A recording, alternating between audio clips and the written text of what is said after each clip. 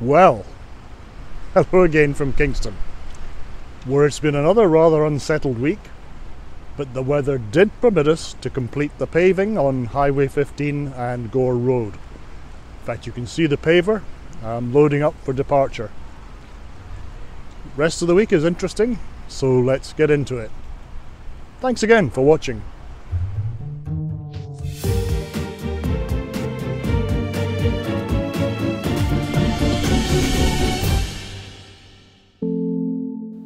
We'll begin this week with what must be its crowning achievement the completion of paving of the intersection that Gore Road makes with Highway 15.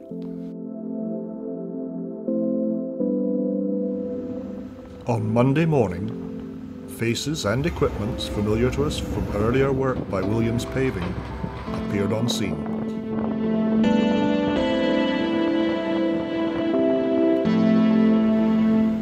In addition, a road sweeper from local company Hewson got down to the work of cleaning and preparing the surface.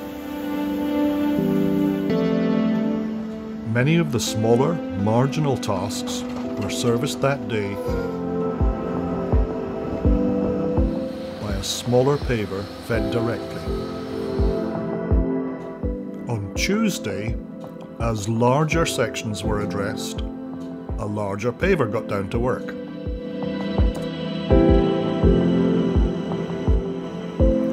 And early on Wednesday morning it was time to bring out the big guns in the shape of the Roadtec shuttle buggy. This massive machine takes asphalt directly from the delivery trucks, churns it to maintain a constant temperature, and then delivers it directly to the paver. With a steady supply and no physical contact, it allows the paver to run almost continuously.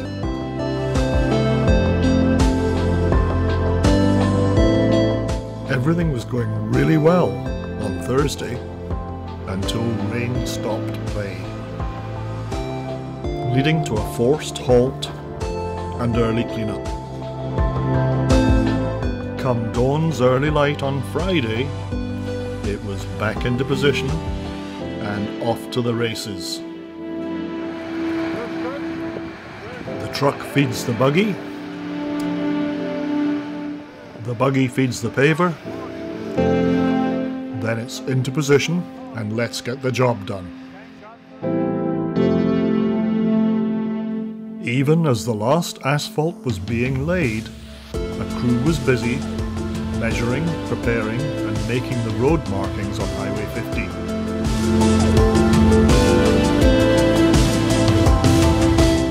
And by day's end, it was goodbye and thank you to the paving crew.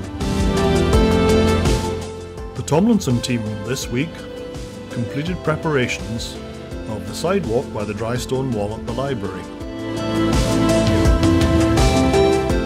That allowed Sousa Ready Mix to come in on Tuesday and frame it up. And then pour the concrete on Thursday.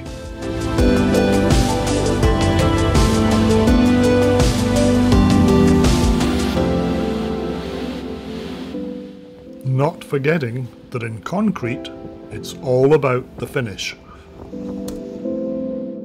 Nowhere is this more evident than in some of the detail work.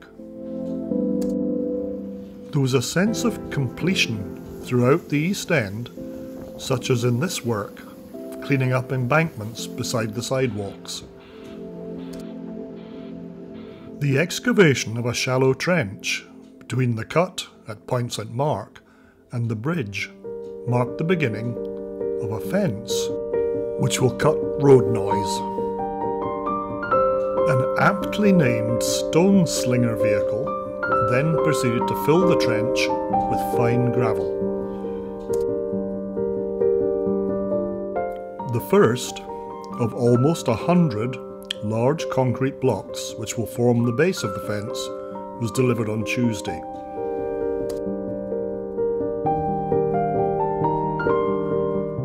By week's end, the majority of them would be in place. Turning to the steel span, a major milestone was reached this week when the crew led by Joel completed all of the formwork required, giving the iron workers from ABF a clear field on which to proceed. A determination to make progress was clear on the east end of the concrete girders too, where spans 16 and 17 saw several concrete slabs laid. And underlay strips are required for every one. Conditions may be far from ideal, but it's important that the safety boat is on station, and we salute their work. We'll go to wildlife this week, watching Lucy Linkbelt move to work again in the West, and take a moment to say goodbye to all the folks from Tomlinson, whose last week this was, and who've worked so hard for many months. Wish them luck in the future.